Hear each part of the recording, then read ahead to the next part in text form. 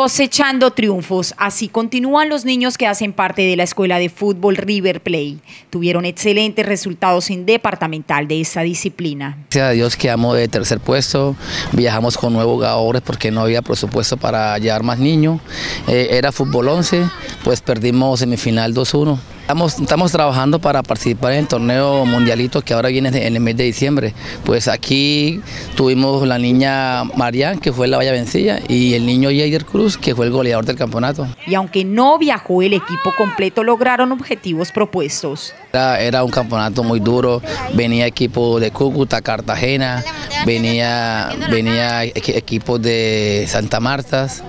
En el grupo nosotros éramos digamos, favorito, pero afortunadamente pues perdimos en semifinal 2-1. Así que pues que trabajar todos los días con, con disciplina, saber digamos las condiciones de, de, la cancha, de los niños, los padres que los apoyen y que esto es, esto es un deporte que cada día crece.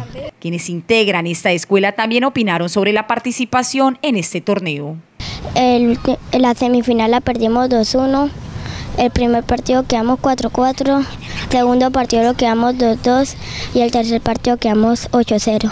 No era lo que nosotros esperábamos, pero al menos quedamos de terceros. En diciembre nos vamos para el Mundial Hipo con la sub-7. ¿Y qué esperas allá?